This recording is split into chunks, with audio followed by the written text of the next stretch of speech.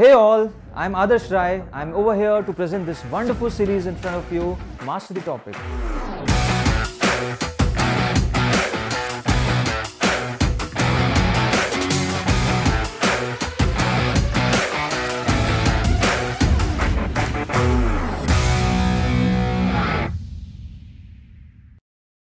So here we are with this very new session and a very new question as well. And what is the question? It is what is equilibrium? So this session will all about what is equilibrium and what all types and condition of equilibrium actually exist. So the agenda today in this session will be that we'll be having a discussion about translational and rotational equilibrium thereby finally decoding what an equilibrium condition is. And by the end of this session, you will be also having an insight about even the types of equilibrium. So let's begin this explanation by a very small experiment. So when I was a kid, my uncle gave me a very beautiful present. And here it is, a balancing doll. I seriously used to play it with ours. And whenever I just touched it, it began its motion somewhat like a to and fro motion. And I always used to feel why it is not falling off from its platform. Whatever amount and whichever direction I am applying the force, it kept on moving and moving and moving. So do you people know why it wasn't falling? Don't worry, we'll be discussing about all the concepts behind the motion of a balancing doll and how it actually balances itself in this lecture. So to actually understand how this balancing doll was able to balance itself in spite of the direction or whatever amount of force you were applying, we first need to understand the basic topic or the basic concept that is what is equilibrium. So let me give you an example and tell you actually what equilibrium is. So let's bring a rod in front of us. Okay, so we have a rod and what I'll be doing is I'll be applying forces on it. So the forces, the point of application of the forces will be changing and we'll just see what kind of a motion this rod is performing. So first let's take a case wherein we are just applying the forces from both these ends and what we see is that the rod is in motion in forward direction. Now let's change the application of our force and uh, let's apply a force somewhat like this. And what I can see is now the rod is rotating about its center of mass. Now let's again change the point of application of forces and now let's apply the forces like this. So in this case, no kind of a motion occurred, right? So what actually I can derive using these three experiments is that two kinds of unique equilibrium exist. One was the case wherein two forces were acting and the body was in rotational equilibrium but not in translational equilibrium as in this case. The other part was when the forces were applied in such a fashion and the body was in translational equilibrium but not in rotational equilibrium. So then what is equilibrium? So the equilibrium was the third condition wherein the body was in a state of translational as well as rotational equilibrium and it neither had a rotatory motion nor had a translatory motion. So here we are with the final condition of equilibrium. That is, if a body has all the net external forces as well as the net external torque due to all the forces acting on a body equivalent to zero, then that body is in equilibrium. So this is the condition for equilibrium and the case can be whether a body is at rest or whether a body is in motion. So if a body is moving with a constant velocity with all the net torque and net forces equivalent to zero, then also it is in equilibrium. And if a body is kept idle in static condition, then also equilibrium can exist and based on them, dynamic equilibrium and static equilibrium occurs. So do you wonder any cases of equilibrium? Let me bring in front of you. So as you can see this ladder, so this ladder it's so peacefully aligning itself with the help of two walls. So don't you think this is an equilibrium condition? Yes, truly it is. The net torque and the net forces are equal and they are amounting to zero. So as in this case, we can very clearly say that the object or this ladder is in equilibrium in a state of static equilibrium to be precise. Now let's consider a case of a person who is skydiving. So what he does is he dives from that airplane at such great height and just look at his motion. So what we'll be expecting is that his velocity will keep on increasing because of his own weight. But what instead occurs is after a particular time, his velocity becomes constant and equal to the terminal velocity. And the reason is that the net forces and the net torque acting on the body amounts to zero. And this is the case of a dynamic equilibrium. You want one more case? So just have a look at this Leaning Tower of Pisa. And I'm sure many of you must have heard of this name. This is a very beautiful city of Pisa in Italy, wherein this very unique tower is situated. And so many people think, why it never falls? So it obviously never falls because it is also in a state of equilibrium. So now with the help of these examples, we can very well understand what actually equilibrium is and what is the condition of it. But still, our question remains unanswered. That is, how that balancing doll was balancing itself. So for that, we need to perform one more experiment. So for this experiment, basically we just need three objects. A simple ball, a hemispherical bowl, which is empty from inside, and a table. So let's start off by placing the ball inside that hemispherical container.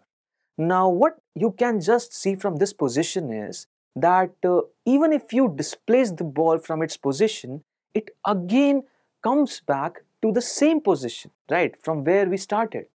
Now let's invert this hemispherical bowl and place it on its top.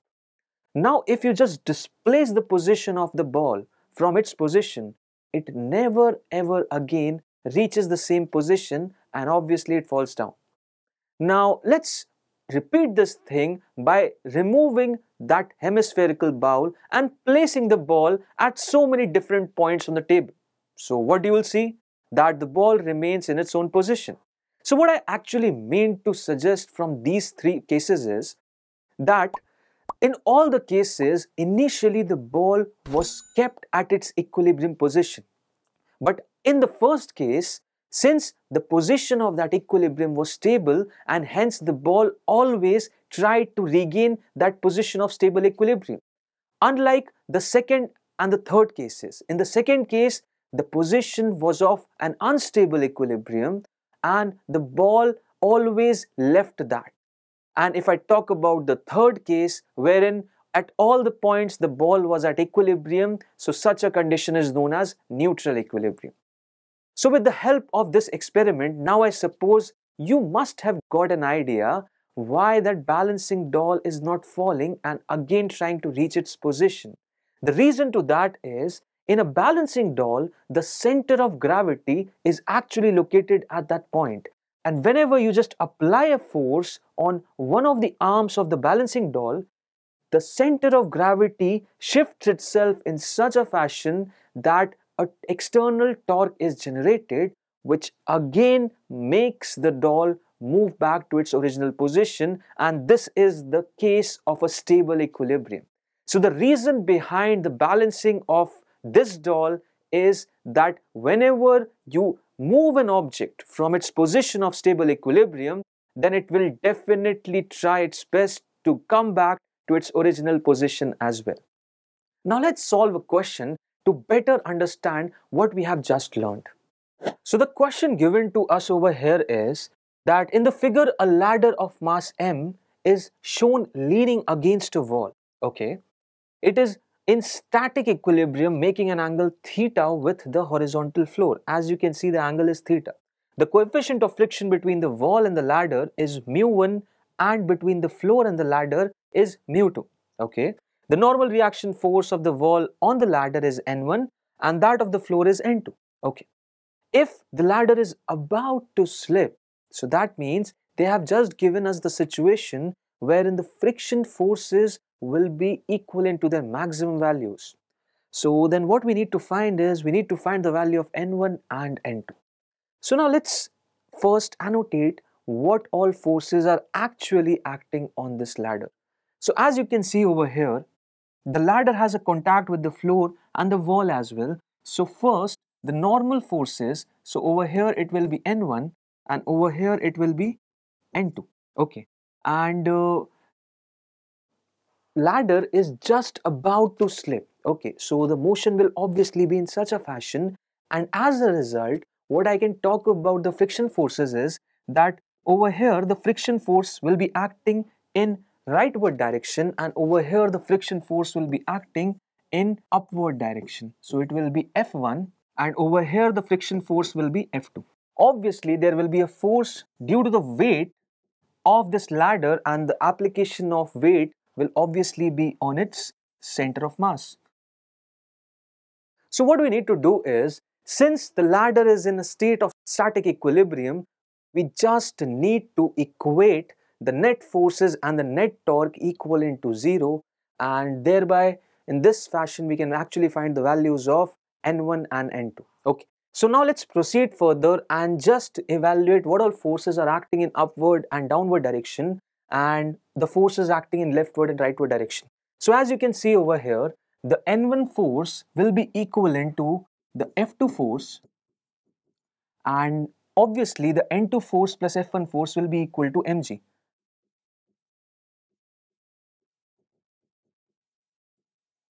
So these forces have to be equal only then we can say that yes equilibrium has been maintained. Also it is given to us that the rod is just about to slip.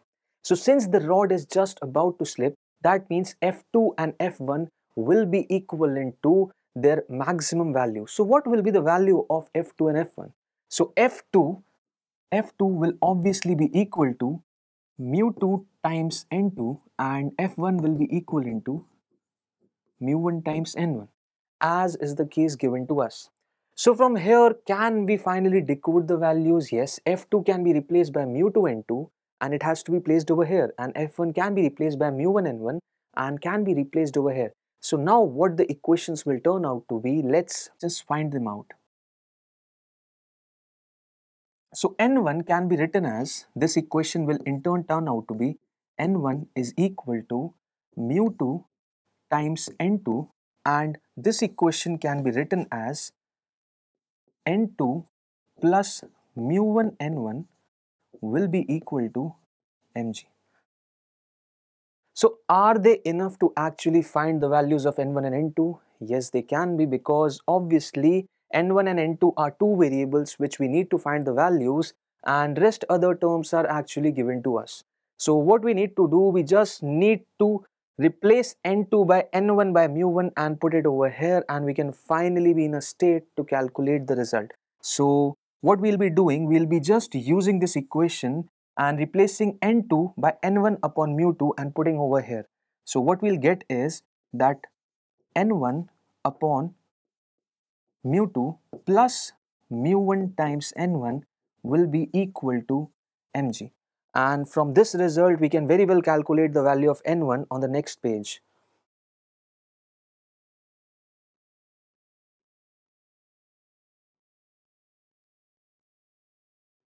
So here comes the value of n1 and that can be written as n1 is equal to mg into mu2 divided by 1 plus mu2 mu1.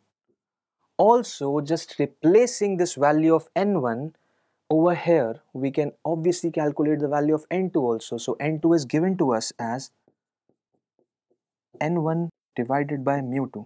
So we have the value of n1 and we just need to divide it by mu2. So n2 we can also find it to be mg upon 1 plus mu2 mu1. So these are the values of n1 and n2 and this was a question asked in JEE Advanced in 2014. So uh, now I suppose you have very well understood the concept of equilibrium. Also what you can do over here is you can also create a condition of rotational equilibrium. So what you can do is about any of the points, say suppose about this point, you can just calculate the torque due to all the forces that is due to mg and the normal and friction force at that point. Or any other point also and what you'll find is the net torque are coming out to be zero. So this was the explanation all about what is equilibrium and I suppose you have understood it. So now if you are interested in solving more such quality questions about equilibrium conditions and many other things, what you have to do, you just need to find the link of Extramarks the Learning app in the description and thereafter you can practice a number of questions from whichever topic you like. You can also avail the benefit of giving tests as well. There are so many score booster tests, trending tests and even you can create your own test. So don't stay at rest, accelerate your preparation. This will be all from my end. Thank you.